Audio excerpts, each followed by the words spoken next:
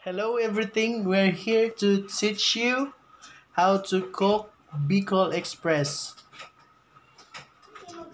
So guys, mo na itong mga recipe.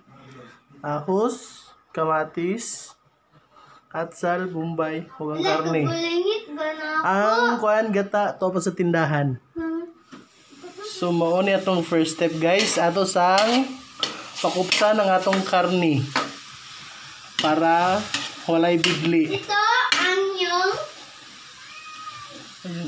Wait, later, later. So, mauna ni siya guys. Kitams. So, di ba? So, mauna ni atong second step guys.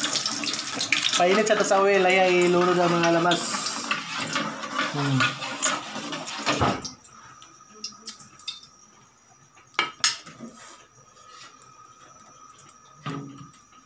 Bi, ang cellphone ako eh. Klaro na siya. Hmm. Pamala na siya. Panawan nyo para maka-learn sad mo. Learn ang maka.